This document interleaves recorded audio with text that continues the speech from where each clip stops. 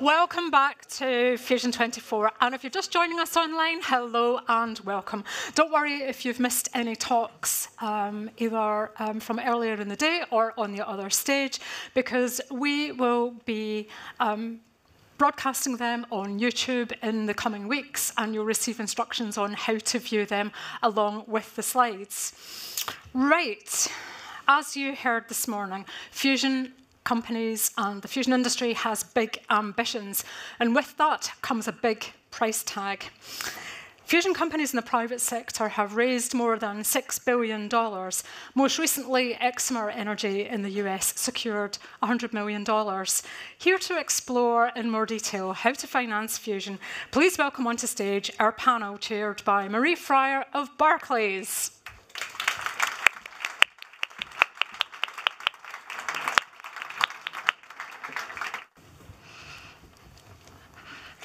Wonderful. Good afternoon. Um, it's wonderful to be here with all of you. Um, Marie Freier, thank you, Valerie, for the kind introduction. We have a marvelous panel of experts here who've been involved in funding fusion for many years, decades in many cases. So I'm going to introduce them briefly. We have a few topics lined up that will get us started, but we would really love for you to be involved in the conversation. Um, of course, we can have Q&A at the end, but if there's something you want to come in on as we're talking about it, please do let us know and we'll get the roving mic to you.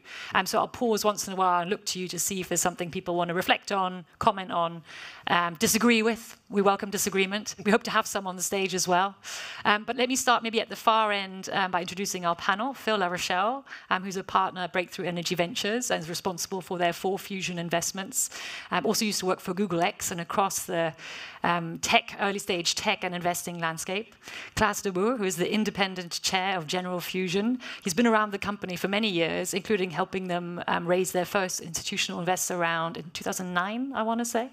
Um, Rory Scott Russell, who's head of VC um, for East Alpha, and again has had an illustrious career around the early stage tech side, especially from an investment perspective. You say you do the, the funky cool stuff. Is yeah, that right. something? Of yeah, course. that's about right. um, and particularly, um, I'm delighted to welcome um, our esteemed guest, Andrew Lo, um, um, who is Harris Professor at MIT Sloan School for Management and also the director of the Laboratory for Financial Engineering. Um, if you haven't read his paper, co authored with Dennis Whyte, published recently on what fusion energy can learn from biotechnology, I highly recommend it. You can find it online, and I'm sure we will be referencing it throughout our conversation as well.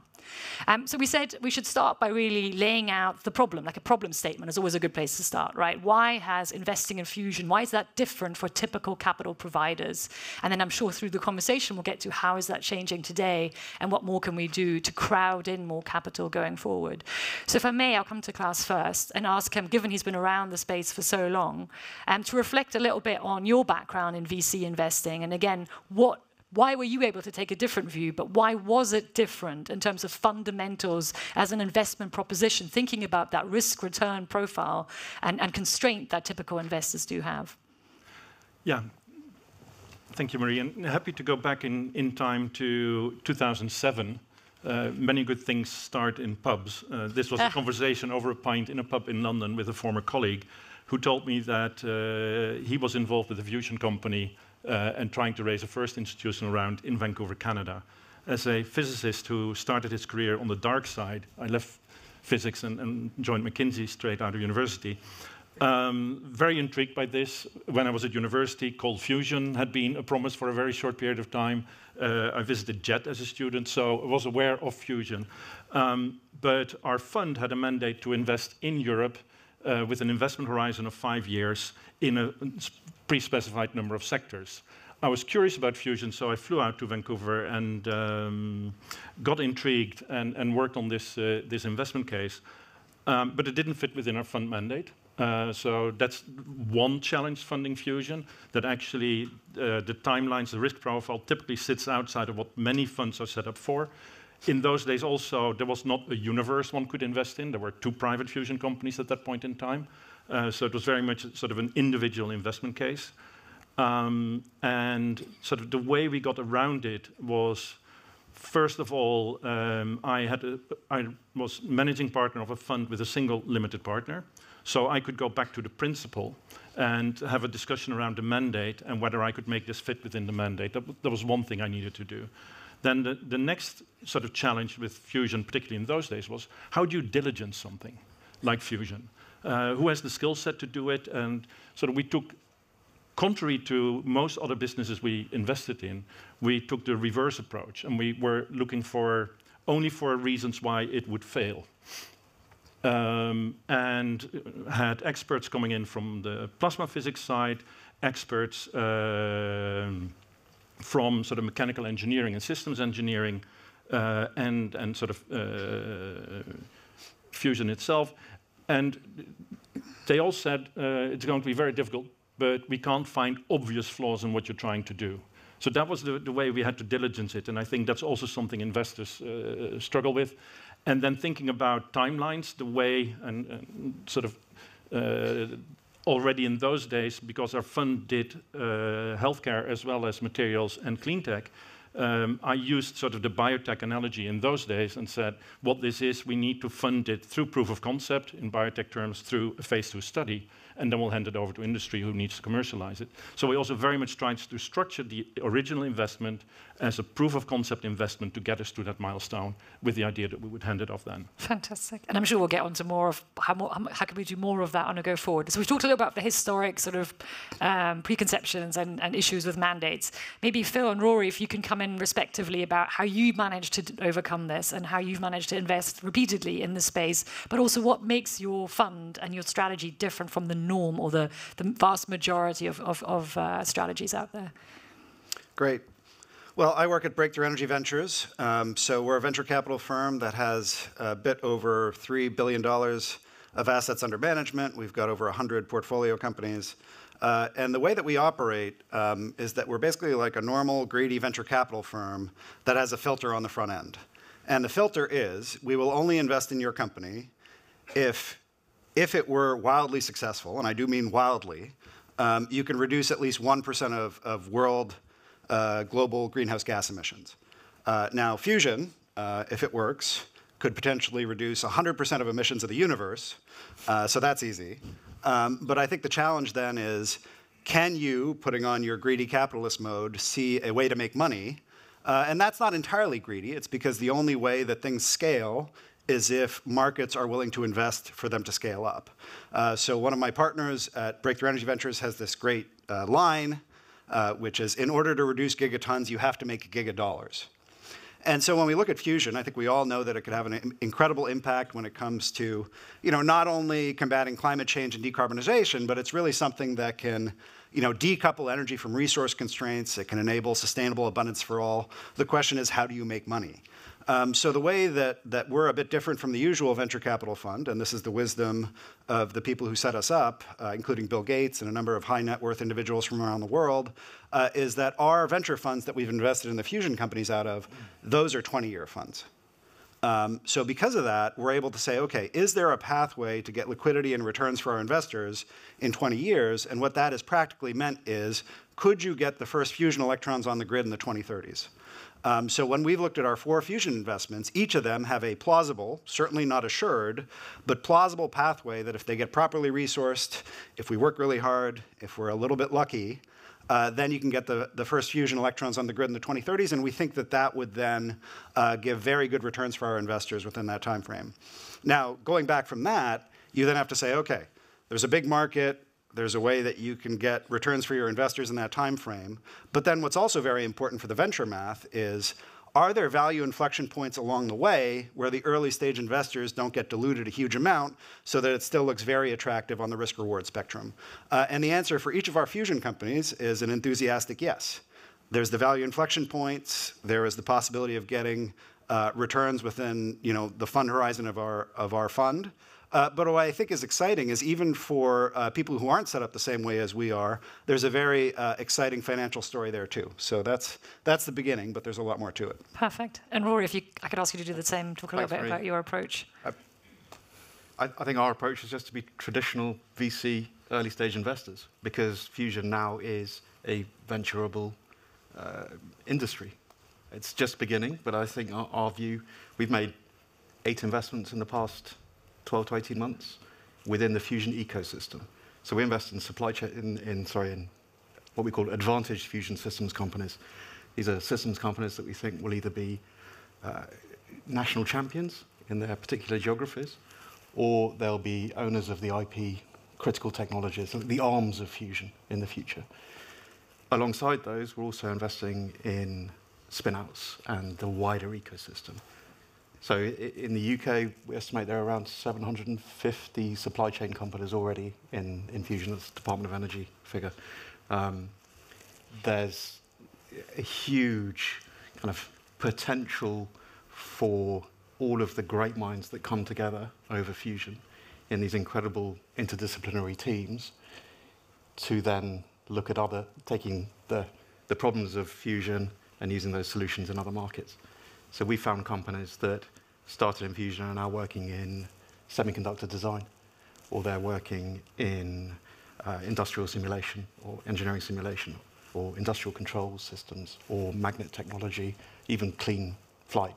So it's, it's fertile ground. But the, the message that I have is that for an early stage VC investor, and, and we invest across deep tech, but fusion is very much an investable proposition, a VC investable proposition. Wonderful. So we've, so we've talked a little bit about the historic issues. We've talked about where certain funds can invest today, but also why that's still relatively niche.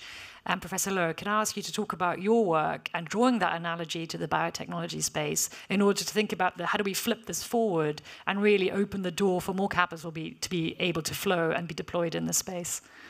Uh, I'd be happy to, but first I should mention that um, every once in a while, my MBA students will remind faculty that uh, those who can't do teach. And uh, those who can't teach, teach gym. I think that's what Woody, Woody Allen said. And at least I don't teach gym. Uh, but from an academic perspective, uh, we see a lot of analogies between fusion and a number of so-called deep tech uh, technologies that over the years have had to grow from nothing and from this is impossible to this is possible to this is inevitable.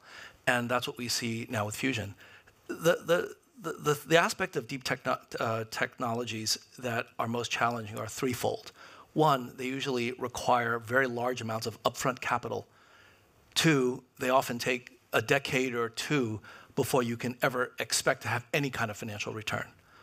And three, the probability of success is either minuscule or totally unknown because it's never been done before.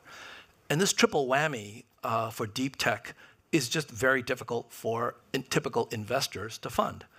And so as a result, you need a different set of investors. You also need a different set of financial structures.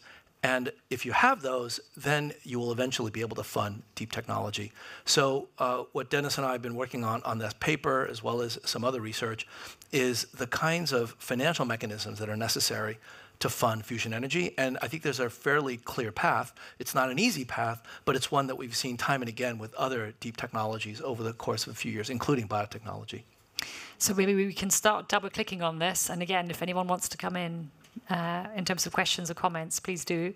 Um, we talked a little bit about those value inflection points, milestones, the analogy to the biotechnology industry. For those familiar, the FDA in the US has those phase one, two, three trials, which again, for a typical investor, gives them some assurance from a de-risking perspective that a business, or in this case, a particular um, uh, science around a particular disease, has reached a certain milestone. Can we double click on that? What are the kind of milestones that companies in this space can um, lay out for the investment community. In my experience with investors, if you lay it out, you go and tell them about them, then you go and do the first one, then you go back and tell them again, said, look how I told you I was going to do these things. Now I've done the first one, you know, and that's how you sort of build that trust. But would you be happy, Phil, to, to sort of speak a little bit more about those milestones and, yeah. and inflection points? Absolutely. Um, so Commonwealth Fusion Systems that you guys have already heard from today, uh, they've got this great framework that I think applies to anyone, as far as I know, kind of pursuing commercial fusion, which is kind of six steps uh, to the light at the end of the tunnel here. Uh, so the first step is can you control your plasma? The second step is can you get to 3 keV electrons? the third step is can you get to 10 to the 19 triple product? Um, and these are all you know, scientific results that basically show that you understand how your technology scales and you know, kind of at least gives you the, the runway to get to break even. The next step, step four, is to actually get to energy break even. Step five is to produce the first electricity. And then step six is to produce the electricity cheaply. So, so I think that that's a great framework. Uh, and so whenever we're looking at, at the different fusion companies, we're like, okay, are they on step one, step three, step four? Um, so where the fusion companies are right now is there is one, thank you lasers, uh, concept that has hit step four. Um, but there's a whole bunch that are right at that 10 to the 19. You have to get to 10 to the 21. Um, so that's in general what the value inflection points are. But then when you go to different uh, concepts, then you have kind of approach specific value inflection points. So we've got two magnetic confinement uh, fusion companies. So we've got CFS, which is a tokamak. We've got Type 1 Energy, that's a stellarator. And there you get to build on ITER, you get to build on W7X, and really what you want to show is a component level advance that furthers these, these scaling laws into the break-even regime. When it comes to lasers, maybe you want to build a better laser, you know, showing you build a, be a better magnet is a value inflection point, showing that you build a better laser is a value inflection point. Uh, and then you've got our kind of dark horse. Um, we've, uh, Energy is our laser company. But then we've got Zap Energy, um, which is kind of a fancy lightning bolt. Uh, and they're interesting because they're doing kind of frontier physics every day. So their value inflection points is actually, hey, we're nudging up that triple product. So, you know, there are value inflection points galore, uh, building off of a lot of good peer-reviewed science. They're often validated in collaboration with the national labs. So I think something that's very important to get across to the investor community is that this is understandable. You're going to be able to tell when people are making progress or not. And then the last thing, which I'll say just as a plug, uh, is that you know you mentioned FDA trials. There is a great thing in the United States called the milestone-based cost share program that is based off of what NASA did with SpaceX. So you know how SpaceX is a many hundreds of billions of dollar company now? Well, a lot of that had to do with this milestone-based cost share program between NASA, SpaceX, and other companies that let them get to these value inflection points, which in their case was resupplying the space station.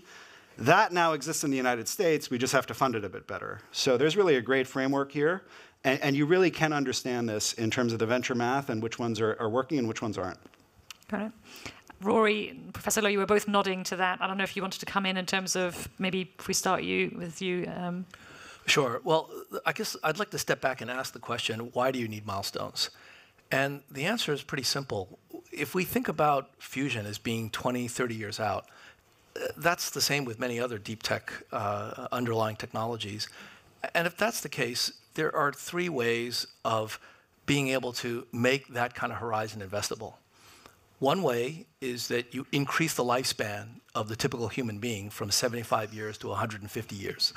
if we all lived 150 years, we'd have no problem investing for 20, 30 years. The second is you can increase the term of politicians from five years, seven years to 20 years. And you know, maybe they do that in China and, and Russia, but not here in uh, the UK or the U US. The third way is to break up those 20 years into smaller bite-sized chunks. And so the point of all of these milestones from the scientific perspective is to understand where you are. But uh, from my point of view, from the financial perspective, it is to make digestible an indigestible investment period. And if you view it that way, then it actually becomes fairly straightforward even with those six milestones that Commonwealth Fusion Systems has proposed, I can see easily taking any one of those and breaking that down into another four or five. And that means that the typical retail investor can get in on the action. And if that happens, we're talking about trillions of investment dollars being available. That's the ultimate goal from my perspective. Very clear. Rory? I'm a simple VC, right? so I'm just looking for first revenue, and I'm looking for companies that can get to revenue and get to $100 million scale revenue within venture timeframes. And you might not think those companies exist, but in the ecosystem, but they're here and they're in this room. Um, so Tokamak Energy, for example, certainly has a chance at that, both through the commercialization of its magnet technology um, and other technologies, but also as a beneficiary of public-private programs, um, which can easily bring in kind of venture, venture scale revenue. So I think we, we try and make it as simple as we can and say, look, we're, we're looking for venture class opportunities within the Fusion ecosystem. Um, the, the other type of companies out there are these, are these spinouts, and I can't say enough like how much of a um, inspiring sort of fertile ground it is for, for these spinouts which again make investing in fusion easier from a from a VC's point of view. Mm. Um, so it's yeah, it's I think it is venturable. And I don't think we need the milestones. That's my, that's my view.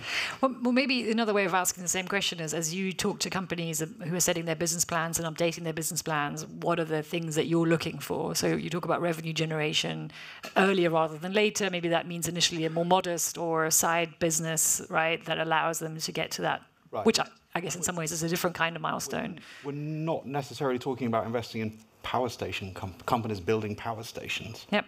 Because I, I don't think companies are, the, the companies that exist today probably not going to be the companies building power stations with their logo on the outside. Maybe they will, but I think in those those power stations will be built by integrators, they'll be built by EPCs, they'll be built by existing engineering firms that are great at that, the Westinghouses and Atkins and etc. But what we want to find is the companies that integrate those projects that are the the ASMLs of of fusion. Um, and ASML, you know, we were, as a, as a fusion spin-out, so this is a story, and I, and I hope it's true. I asked Dennis Whyte whether it was true, but uh, um, so EUV technology, which is the basis of EUV lithography, which is the basis of, of ASML's uh, technology, was developed at, in conjunction with Lawrence Livermore. So is, you, you can describe it as fusion technology, and fusion technology is in all of our pockets now.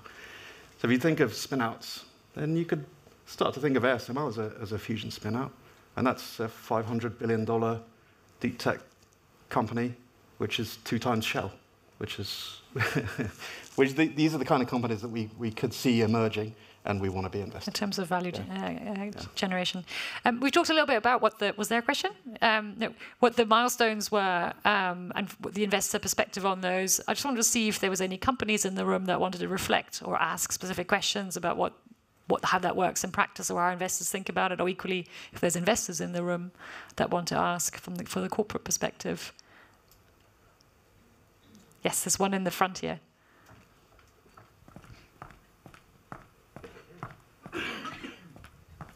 Gentleman in light blue. Hello, sorry, I'm not an investor. Um, how do investors um, understand and manage technical risk um, you talked about milestones, maybe not reaching those milestones because it's a very complex and novel technology. How do you do that?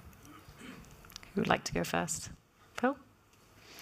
Well, um, this will be a, a, rare thing to hear from an investor, but we, we try to be humble, um, which means that we recognize the extreme complexity uh, of, of trying to pull off these fusion projects. So at least for us, of the four things that we've invested in, um, we rely heavily on, on peer review um, that either the companies themselves or the basis for their design has a long history of, of peer-reviewed uh, publications, that it's taking a bunch of measurements, that it has a hypothesis as to what the scaling laws are, and has basically put it out to say, hey, you know, if you think these scaling laws are wrong, let's let's debate it openly. Um, so, so that's how we do it by concept. And then when it comes to individual companies, you know, this is not unique to Fusion. We do it across, you know, um, our 100 plus companies, everything from fusion to fake meat with some rockets and VTOLs in between. Um, so we have a framework for doing that. And when it's necessary, we bring in some great experts where we really feel like there isn't the basis of peer review and, and we need to go that extra click. So not a simple answer, but especially with fusion, for us, you know, peer review is kind of table stakes. Can, I add to that? I, I, I, I certainly agree that whenever possible, you should bring in experts. But the very basis of your question is when you're at the very early stages, and even the experts don't know. The way to deal with risk is the way that financial um, uh, investors have been dealing with risks for generations, which is don't put all your eggs in one basket. Invest in a bunch of these different technologies, and the idea is that if you invest widely enough, then the likelihood that one of these things will work is going to be higher. So I think ultimately for the really early stage technologies, after you've exhausted all of the expertise that's available and there's still unknown unknowns left, invest in everything. Rory, did you want to comment on that as well? I think there's, there's portfolio diversification of technology risk. Um, but I think what's changed recently is the market risk side of things. So now with more and more announcements of national commercial demonstrator programs, um, with more and more companies available to actually fusion companies who can be who can provide demand for fusion systems, the market risk is reducing, which because we can cope with technology risk or kind of market risk. But if we're deep tech investors, we should be specializing in technology risk and hoping that that market, you know, if, if, if they build it, there is demand. Um, and I think that's what we're seeing now. And I think that's why hopefully there'll be a lot more interested in early stage, at least, tech investing. Was that helpful? Thank you for the question. I think that's a great point in a moment to pivot towards the demand side, but I just wanted to check if there was one more. There's one on that side, please. Gentleman in the suit. I was about to say that wasn't very helpful, was it? Says the woman wearing pink. So. I'm a gentleman in a suit. Um, I'm Ian Chapman from UKAEA. Um, I'm, I'm really interested in the relationship between private sector funding and public sector funding. Um, you know, nobody knows which is going to be the optimum fusion power plant, but knowing a bit about fusion, I really can't see a way of delivering a first power plant for less than sort of $10 billion, and it'll probably be significantly north of that. Um, and that's really hard to fund, right? So even known energy technologies in the UK, almost all of them require some public intervention, either regulated asset base or PPAs or contracts for difference or subsidy or tax breaks or some sort of mechanism to make it a viable project. What do you think is the best way for that interaction to work in fusion, where it's novel technology, first of a kind, high risk? What do you think the role of the state is in working with you? Anyone would like to volunteer to go first, Klaas? Thank you. Uh, uh, yeah, a few few perspectives on this. I think, uh, well, first, what we see at the moment is that every single government is uh, putting fusion programs, fusion strategies together, or at least starting to think about it. Um, I think what, what came up earlier today here on the, the panel before lunch is the, the topic of energy security. So it, there is something about producing a commodity called electrons that needs to be cost competitive, but there's also the dimension of, of energy security and how that fits into industrial policy. Um, seeing uh, industry leaving Europe in droves at the moment because of energy costs. So I, I, I think if you factor that dimension in, uh, that, that helps. Um, another example that, uh, that I see at a smaller scale, so we're not at power plant scale yet, but sort of the investment instruments that are available, uh, there are countries that have growth funds. And those growth funds come with a mandate, uh, the topic I, I, I raised earlier. Uh, but typically, a growth fund means investing in EBITDA positive companies uh, with a minimum revenue threshold. And so when you think about how you put government instruments in, in place, and if those instruments are supposed to support fusion, then you also need to make the mandate uh, such that, that fusion fits within it. What is happening here in the UK, and we were supposed to have a, a government representative on this panel, I think, uh, but given that we're in election season, uh, that's not possible. Um, I'm very part-time involved in Future Fund Breakthrough, which is a UK government fund, uh, as an external investment committee member. And in light of the challenges of funding deep tech in the last couple of years, uh, the board of this fund have decided in order to achieve its policy goals, they needed to change the parameters of this fund. So allowing smaller round sizes, allowing uh, corporate VC-led uh, led, led rounds to, to price deals. So I, I, think there's also that flexibility that is uh, that is necessary. But th the world that I see is still one step before uh, what you're referring to. Please. Um, yeah, if I could weigh in, um, I think this is where looking at the biotech sector could be quite instructive. So I think all of you know that there's a lot of low-hanging fruit in medicine these days. You, the mRNA vaccines have, that saved the world a few years ago, uh, but uh, you know, gene therapies, all sorts of incredible breakthroughs. Where did they come from? Why do they exist? Why is the biotech industry so vibrant today? It's because government has played a critical role in funding the things that investors will not fund, which is fundamental science. Uh, if you just look at the United States as an example, the National Institutes of Health has a $40 billion annual budget. They invest $40 billion a year in fundamental science. And not surprisingly, a lot of those ideas generate intellectual property that is then commercializable, which is why we have low-hanging fruit. It was estimated 10 years ago that the war on cancer that was declared in 1971 uh, ended up putting $100 billion of taxpayer money into fundamental scientific research just on oncology, which is one of the reasons why last year the FDA approved 37 new cancer drugs, 37 in a single year. So I couldn't agree with you more with the sentiment that government has to get involved. But from my point of view, what should the government be doing? It should not be investing in companies that the private sector invests in, because that's why you have government to put money where the private sector will not put money. So, in my view, they ought to be funding things like fundamental science that's necessary for the private sector to take that next step and commercialize. And I think having that kind of public private partnership that we've seen in biotech would be enormously important and, and, in fact, essential for fusion to become a reality. Maybe we can double click on that slightly. And I don't know if you wanted to come in, Phil, as well, but around what those mechanisms then actually are that allow to bridge that. And you re referred to the DOE's program, obviously, earlier as well. But Yeah. I mean, it's a program so nice, I will mention it twice. um, the milestone-based cost share program. In addition, look, we're only here because of decades of government investment in science. That should not stop. That should continue. Whatever you've heard, there's still a lot of science and engineering to be done on all the fusion concepts. So that needs to continue exactly like Andrew said. Um, but I will say that government can be an amplifier for private capital here through the milestone-based cost share program. Because why this program is so good is that the government and the companies set the milestones for where you want to go, and then it's private capital that has to take the risk, and the government only pays if they actually achieve the milestone. Um, so the equivalent of this in fission has been appropriated to $2.5 billion, not quite to the 10 that we need, but it's certainly a good start. And if you significantly uh, fund that program, it's going to really open the doors for a bunch of private capital that's sitting on the sidelines that wants to have that additional kind of two key system of are these companies making progress? Um, so, again, the science is absolutely necessary. I would love to see it funded as much as the NIH.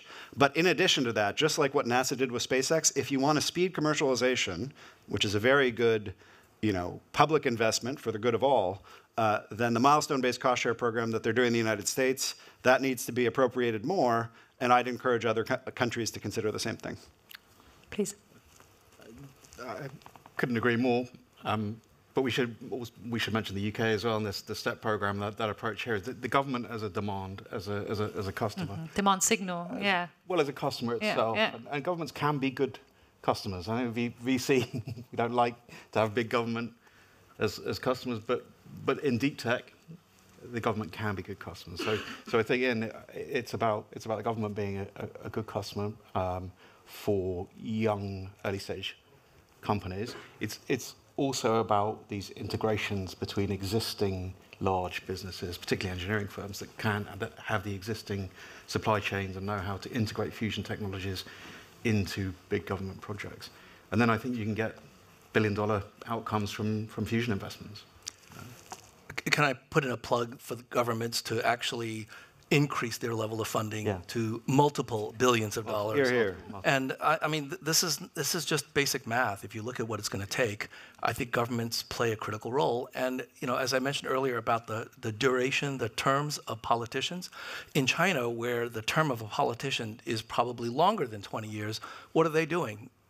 They're doubling down on fusion and investing extraordinary amounts of government money yeah. to make it happen. So I think that the younger generation there needs to start talking to the politicians about dramatically increasing support for fusion energy programs. Which, please. Just talking about China and thinking of uh, the potential for a Sputnik moment, um, with a great breakthrough coming from, from a Chinese fusion research programs, massively funded by the government, and what kind of impact that would have on supercharging um, fusion development. That's quite and all spin out technology. And all spin well. out, exactly. I mean, what, one stat that I read is that of all VC uh, fusion investment in the past five years, only 3% went to Europe. 3, 3%. and, and yet, Europe, I mean, particularly the UK, has a case that it leads the world in fusion technology just because of the, oh, the, the history that we have here uh, around Culham and the JET program, etc. But 3%.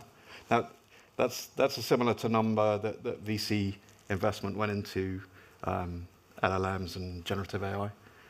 And in the UK, I don't think we have a foundation model. So that, that's how we can get left behind if, if, um, if at least in, in certain governments that don't kind of promote this industry. Klaas. Yeah, I want to add one other dimension to it, and it was mentioned briefly before, and it was the, the vaccine program and the success thereof. I think that it's a very imperfect analogy, but there are some things we can also learn from that. Because normally it takes 10 years to, to bring a new vaccine to market, and when it really was necessary, we could do it in one year. And how do we do that? Uh, by the government assuming risks that the private sector normally would assume. Exactly. But in this case, the government assumed those risks. Yes. It was also doing everything in parallel. If you're running a fusion company on limited venture funding, you want to spend your dollars to take the most risk out of your program for those dollars to get to the next phase. But there are also lots of things that need to be done in parallel uh, that uh, is done sequentially because of, of the funding. And I think those are areas where governments could also step in and fund programs that address common problems across the industry to take that risk off the table for the private sector, but actually shorten the time to market for the private sector. Mm. Do you think the emergence of massive data center demand could potentially be creating those conditions at the moment? How does, how does Microsoft build gigawatt data centers with 100 billion type scale budgets? How, how do they supply? If they're building those sorts of things in Germany, if they're building them in Poland, if they're building them in Uttar Pradesh, those are running on coal. Does Uh, how does Microsoft, I mean, Microsoft and other data center providers, how are they going to be powering these massive data centers to take advantage of AI? Well, I, just, I was just going to reflect that in my, in my experience, just in the last few months, this has really started to come into every conversation about um, energy supply um, alongside the decarbonisation uh, priorities. Perhaps as the moment is happening now. Yeah. Anything else from the audience? We have a few more minutes, so there's one or two other topics we wanted to touch on, but I wanted to see if anyone else wanted to come in. Um, we touched very briefly on the demand and the markets more broadly. I just want to spend one more minute on that um, and think. Uh, so we've obviously talked now about one potential further uh, demand driver, but that confidence and in terms of how is it sort of practically now becoming part of the investment story from the capital perspective. So had a very brief conversation earlier on PPAs. Um, are we now really at that point, which I think is where, in my experience, a lot of the investment community is dated in their understanding of where the industry is in terms of its progress. Um, and if that's really what we're now talking about, I think all of a sudden, and I think that's the whole point of this conversation, right? How do we broaden the reach of the sector into the capital provider universe um, beyond it, its currently slightly more niche space? So I don't know if anyone would be willing to share a little bit of feedback on that. Well, to, to just build on what was mentioned before, um, this new demand that is coming from uh, compute generally, driven a lot by um, excitement about AI. Um, you know, here are people who have an extremely valuable industry that they want to deploy, which is being limited by energy. And so there is some willingness to pay there. And, and ultimately, you know, the people who are very bullish on AI, what they're looking for is basically a social license for infinite energy consumption. Um, and so that is one of those wonderful things you look for in any climate change company, which is product differentiation. And so the people who are willing to pay more for, you know, dispatchable, match to load, carbon-free uh, energy, especially one that can be deployed anywhere, that's a very interesting market. Um, so we've had one of our geothermal companies, Fervo, who has had an agreement with Google. I think they just re-upped it to be even bigger uh, to do offtake for geothermal um, for their data centers. Obviously, there was already the agreement between Microsoft and Helion. Um, so seeing that market pull uh, is very encouraging. Obviously, we'd like to see that from governments as well. Governments might also like this idea of you know energy decoupled from resource constraints. Um, so we're starting to see uh, both in the private sector and we hope increasingly in the public sector, just like you saw feed-in tariffs, et cetera, of people realizing why it's appropriate to try to help this technology get to market and get down the learning curve. Rory, did you also want to? I think we, there's, there's electricity as a, as, a, um, as, a, as a demand, but there's also heat, industrial heat. So it seems it's quite easy to mix up energy and electricity. And, and in the US, I think it's only about 40% of energy goes into electricity. And fusion has unique characteristics.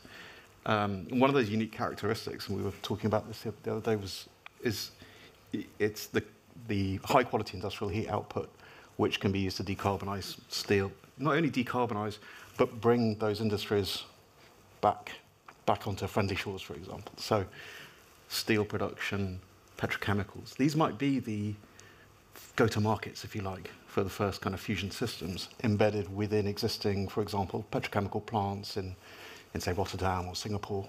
Uh, those could be the first, but as well as data centers, etc. From a demand point of view, that could be that kind of go-to-market niche. That sweet spot. Certain technologies. Yeah.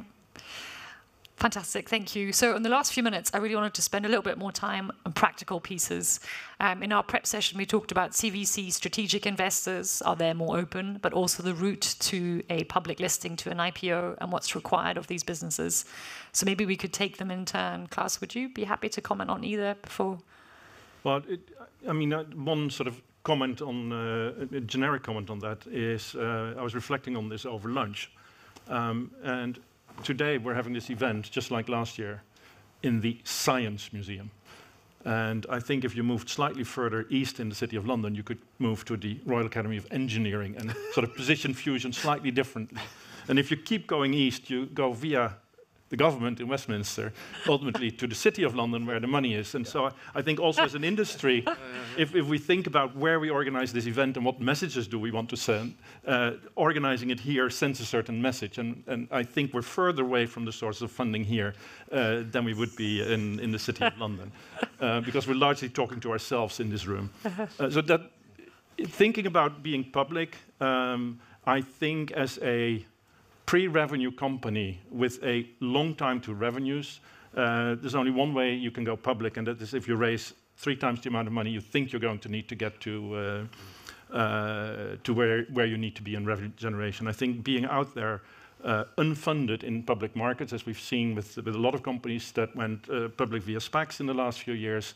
They're all struggling dramatically because all of a sudden uh, you're, you're exposed and, and people sit on the sides and wait. So I, I think public markets will be there at the right point in time, uh, and we can talk about the conditions that we think, but that's probably more your uh, cup of tea than, than ours as well.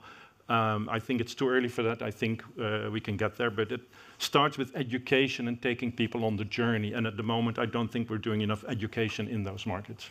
Got it. Maybe we'll have Rory and Phil, and then we'll give the last words to Professor Lo. I think I think I couldn't agree more with Klaas. Really, I, I, you know, public markets will want what public markets want, and when when there is a company that satisfies those conditions, there'll, there'll be some exciting exits. But it's going to be interesting whether the kind of first exits for Fusion and VC are going to come from public markets or they'll come from M&A. Let, let, let, let's see. Let's see. Well, I'll just say that what's been very refreshing in seeing the growth of our fusion companies, um, seeing them start from university spinouts and, and other places, and then raising hundreds of millions and then even billions of dollars, is what's really exciting is the classes of capital that you might say, oh, they'll never invest in fusion they're actually a lot more receptive than you think they might be if they think it will actually work. Yeah. Um, so I think that that's a lot of the story that you have to tell. And then Andrew uh, can then say how we get to the public markets.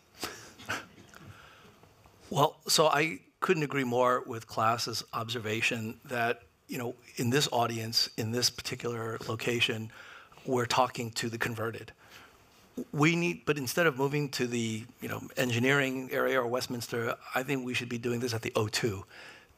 that, Just raise the game. Just well, so uh, in order to get public markets involved, mm. you need to have widespread understanding and acceptance of the technology.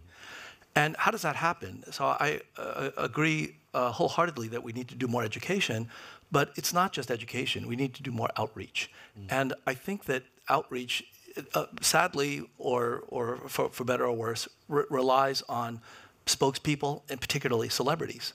Mm. We need to get celebrities involved in this. You know, Lionel Messi or, uh, you know, Anyone with any generation. mates that we could use here, please come forward. I, I am serious. Uh, in order for us to get that level of acceptance, in order for us to get financial institutions like Barclays, your employer, mm. to be able to take it seriously mm. and to spend time with the financial analysts talking to various different sources of capital, we need to have a groundswell of support. Mm. And I don't think it's that difficult to do if we can corral the right individuals to work with us to do it.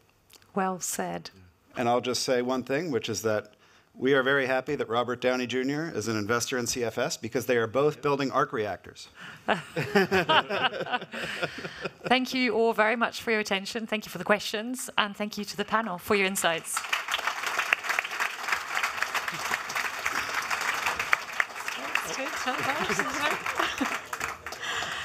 um, thank you, Marie. I think everyone would agree that you have been a masterful chair of this um, session.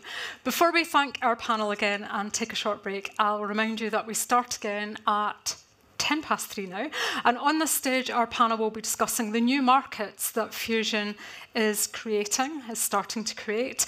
While in the information age stage on uh, level two, we'll be exploring how to attract, retain the Fusion workforce of the future. Please put your hands together and give a great big thanks to our panelists, Marie Freier, Andrew Lo, Rory Scott Russell, Klaas and Phil Larochelle. Thank you very much.